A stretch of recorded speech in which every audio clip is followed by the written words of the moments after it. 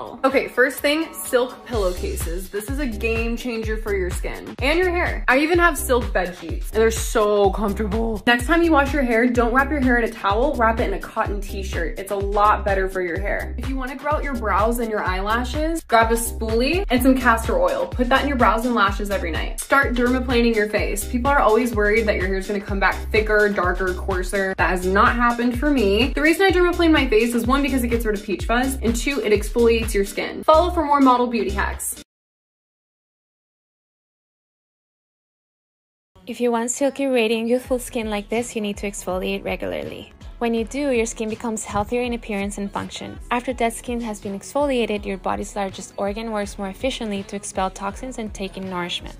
Store-bought body scrubs can be very expensive though. The good news is you can make your own with probably ingredients that you already have in your pantry. When you exfoliate, your skin has improved circulation, it becomes more uniform in appearance, softer to touch, and has a radiant, amazing glow out in Georgia. Oh yeah, shit. I get my weed from California. That's that shit. I took my chick up to the north, yeah. Badass bitch. I get my light right from the source, yeah. Yeah, that's it. I got my peaches out in Georgia. Oh yeah, shit. I get my weed from California. That's that shit. I took my chick up to the north, yeah. Badass bitch. I get my light right from the source, yeah. Yeah. I got my peaches out in Georgia. Yeah, shit. I get my weed from California. That's that shit. I took my chick up to the north, yeah. Badass bitch. I get my light right.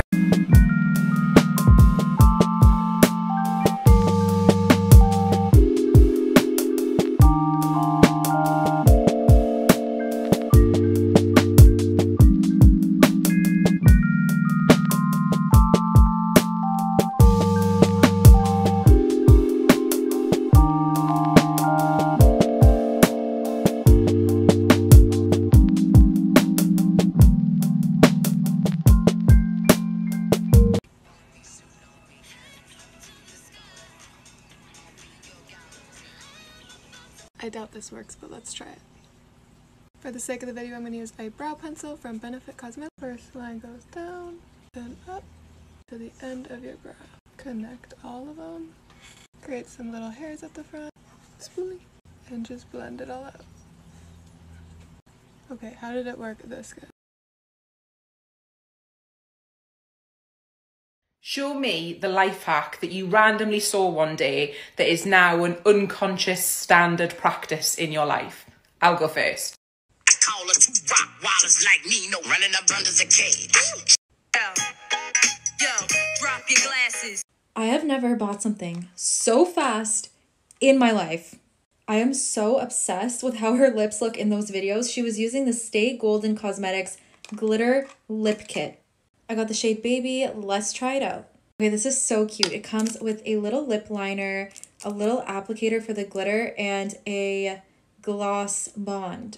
Okay, first I'm going to line my lips. Okay, I love the lip liner. I just wish it was a little bit bigger. Okay, so now it says to apply the gloss bond one lip at a time. Okay, I'm gonna be really honest. I don't like the smell of this at all. Okay, it says it's ready when it's clear. Then you just dab the glitter on. Okay, I'm kind of in love. Let me know what you guys think.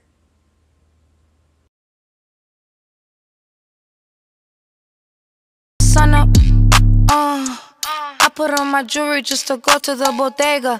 And I keep it with me just so that I'm feeling safer. Fendi on my body, but my feet is in Bottega. Bitch, I'm getting money, give a fuck about a hater. This motherfucker.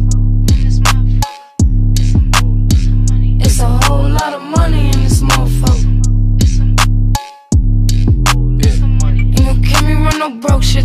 shit get old. Ain't gon' keep me run no hoe shit, these hoes get too bold.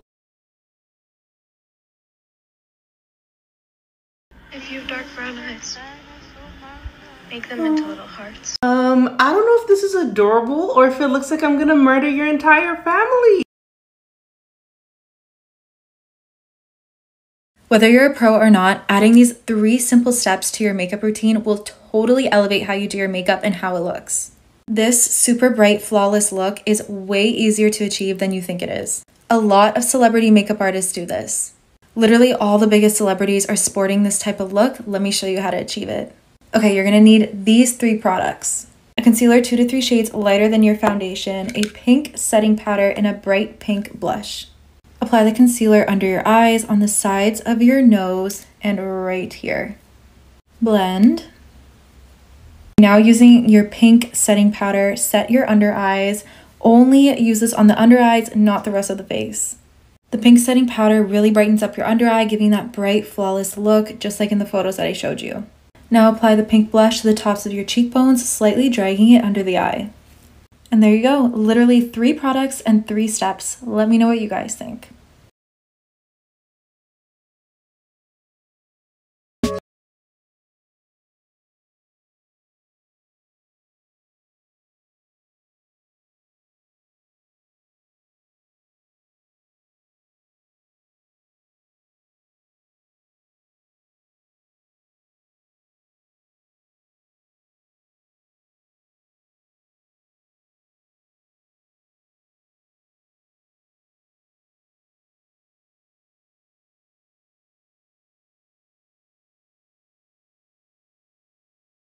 This is why your makeup is not lasting all day. My name is Rocio. I'm going to be your makeup BFF.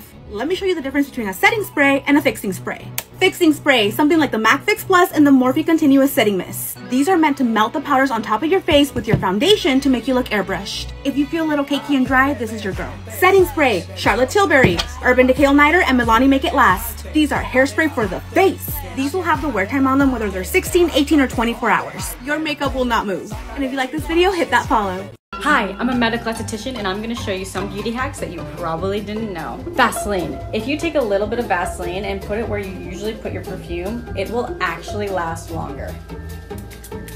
Free Britney. Setting spray. Now, if you usually put your setting spray like this, stop and do it like this. Dampen it just like this and then slowly put it on your face. This will make it last longer. This will put the makeup into the skin. It will set everything. It's amazing. Do this.